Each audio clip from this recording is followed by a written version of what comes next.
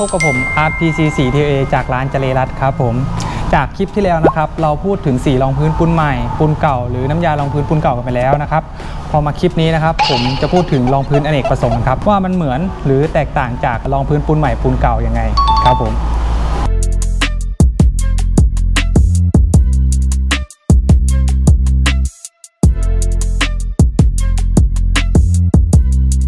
รองพื้นอเนกประสงค์นะครับเป็นทั้งรองพื้นปูนใหม่และปูนเก่านะครับเป็นเนื้อสีขาวนะครับใช้ได้ทั้งภายนอกและภายในนะครับมีทั้งสูตรน้ำและสูตรน้ำมันนะครับ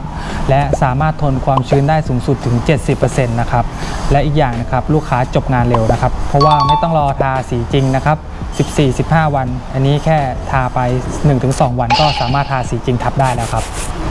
และผมจะมาเปรียบเทียบสูตรน้ำตัว TOA Hydro Quick Primer นะครับและสูตรน้ำมัน TOA Extra Wet Primer ครับเราจะมาดูว่าสีรองพื้นอเนกประสงค์ตัวที่ดีที่สุดของ TOA เนี่ยเหมือนและแตกต่างกันยังไงนะครับผมอะเรามาดูกันว่านะครับสีรองพื้น Hydro Quick และตัวรองพื้น Extra Wet นะครับเหมือนกันตรงไหนนะครับ1นะครับเป็นเกรด Ultra Premium เหมือนกัน2นะครับสามารถใช้ได้ทั้งภายนอกและภายในครับ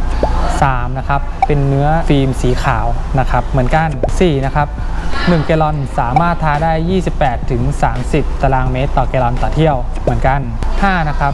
แห้งทาสีทับได้ภายใน 2 ชั่วโมงเหมือนกันครับผม6นะครับใช้ได้ทั้งปูนสดปูนใหม่และปูนเก่าเหมือนกันครับผม7นะครับ2ตัวนี้ไม่มีกลิ่นฉุนนะครับ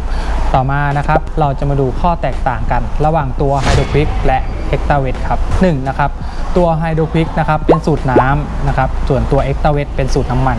2นะครับ Hydro Quick ไม่ต้องผสมนะครับส่วนตัวเอ็กตาเวตต้องผสมทินเนอร์ครับผม